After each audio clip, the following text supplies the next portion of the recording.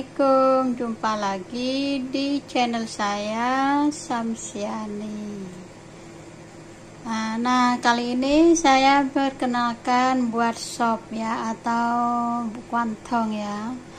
Dan ini saya persiapkan Dan terutama saya perkenalkan buat teman-teman Agar supaya tahu atau lebih jelas uh, satu ini saya beli tadi tungkuannya atau labu apa ya kalau bahasa Indonesia nya kurang jelas. Ini tungkua atau wortel honglopa gitu ya. Ini bahan-bahannya.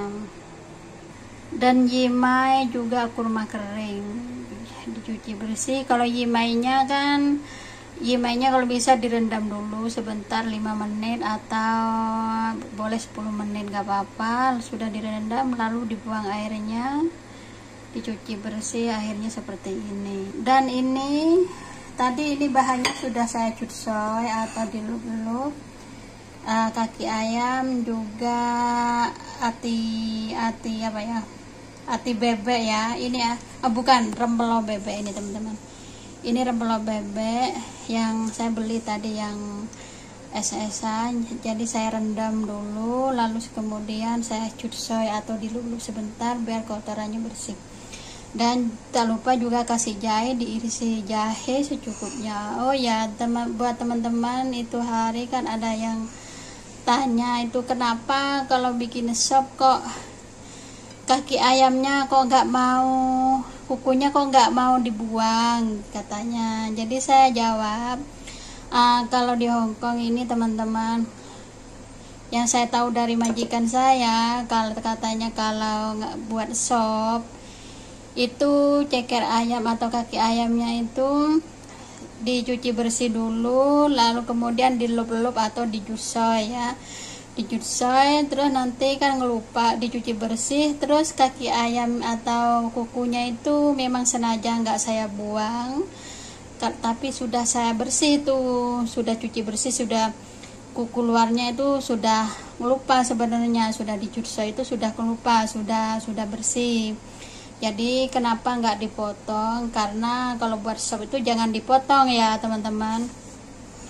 Buat sop apa aja kalau pakai kaki ayam ya kayak kukunya itu jangan dipotong. Soalnya kalau dipotong sopnya itu hasilnya nggak bagus. Hasilnya hasilnya itu minyak-minyak gitu.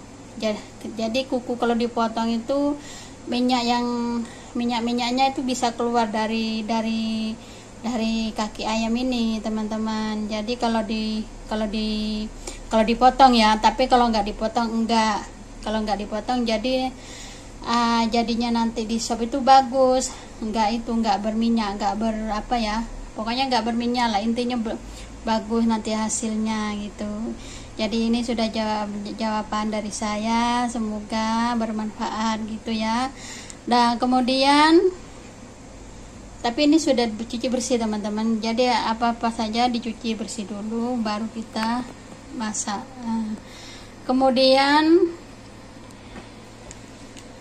saya akan potong dulu bahan-bahannya seperti tungkwa dan honglopa jadi buat sop ini cuma ini aja teman-teman. Uh, ini bahannya cuma ini saya buat sop tungkwa jadi sopnya ini bening. Jadi baik ini baik untuk yang lagi sariawan atau hawanya panas atau apa minum sop ini sangat bagus untuk di badan gitu Oke, saya sekarang uh, ini tungkwa tidak usah dibuang kulitnya, tapi dibuang dalamnya aja, hatinya dibuang ya. Lalu dicuci bersih juga wortelnya dipotong menurut selera masing-masing. Oke. Sekarang saya potong dulu. Jadi ini dipotong jadi empat teman-teman ya. Dan wortelnya juga ini sudah dikupas tadi sudah dikupas kemudian dipotong. Ya dipotong tergantung selera masing-masing lah buat, ya sekiranya teman-teman suka aja ya. Nggak diharuskan mengikuti cara ini tapi tergantung teman-teman suka dipotong dengan cara yang nanti hasilnya bagus dan seger kelihatan kemudian saya cuci bersih. Sebenarnya sudah dicuci. Tapi ini saya akan saya cuci kembali.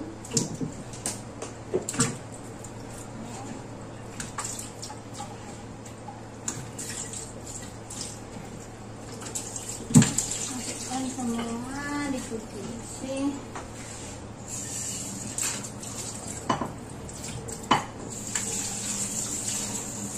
kita tutup lagi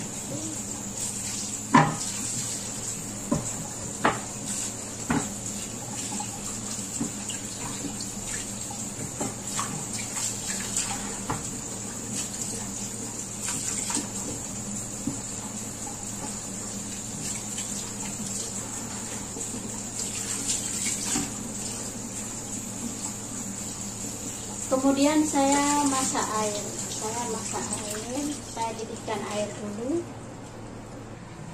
Nah, setelah dipotong hasilnya seperti ini ya. Saya didihkan air sekarang airnya sudah mendidih jadi saya masukkan bahan-bahannya tadi seperti wortel dan lengkuas dan lain-lainnya saya masukkan kaki ayam. Sekarang sudah mendidih saya masukkan kaki ayam juga rempel ayam juga ini. Apa?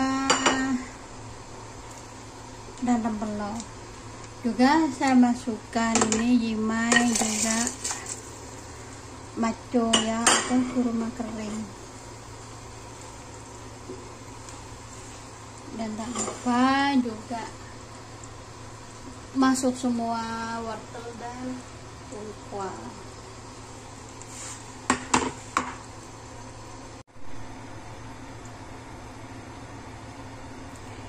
airnya sudah mendidih saya masukkan semua bahan-bahannya seperti tungkua wortel uh, yimai yimai yimai kurma dan rempah-rempahnya sudah saya masukkan semua jadi satu. Kemudian ini direbus selama satu jam atau lebih tidak apa-apa tergantung selera masing-masing.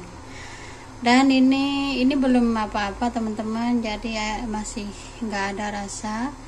Nanti kalau sudah direbus selama satu jam ini akan warnanya akan berubah menjadi warna uh, jadi sop yang sebenarnya ya Nah, nanti kalau sudah mau minum atau apa, cukup tambahkan garam saja secukupnya tergantung selera masing-masing. Sekarang saya akan tutup dan setelah mendidih nanti akan saya kecilkan apinya ya. Karena tidak usah terlalu besar apinya. Kalau sudah mendidih apinya menengah saja biar airnya nggak cepat habis. Udah sekarang saya tutup dulu nunggu sampai mendidih uh, ini sudah mendidih ya benar-benar mendidih lalu apinya kecilkan saja atau setengah setengah up saja apinya dan ditutup kembali dilanjut direbus selama satu jam oke okay. sekarang direbus dulu selama satu jam nanti kalau sudah satu jam cukup ditambahkan garam saja untuk mau minum Oke, terima kasih yang telah menonton. Silahkan selamat menonton ya. Terima kasih banget ya. Dan selamat mencoba.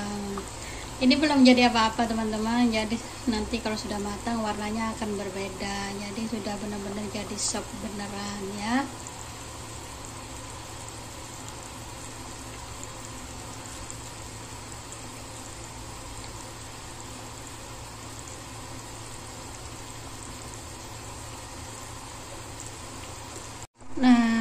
Ini sudah direbus satu jam. Jadi akhirnya warna sopnya seperti ini. Ini tungkwa honglopa sama ikuti ceker ayam dan aksan ya. Ini sudah jadi sop ini teman-teman.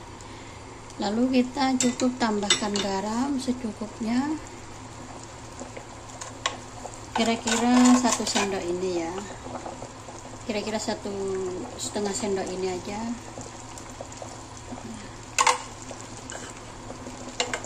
Ini sudah siap diminum teman-teman. Oke terima kasih. Selamat mencoba dengan sop ini.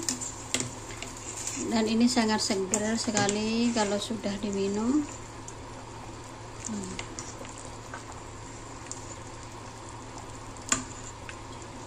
cekernya juga empuk bisa dimakan juga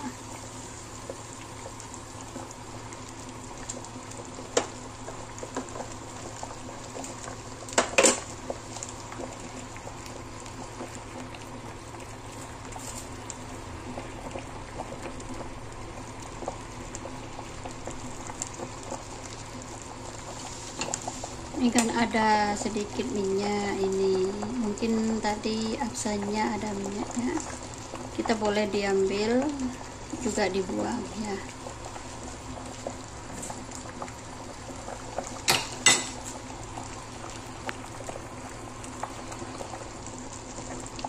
Ini warnanya sudah begini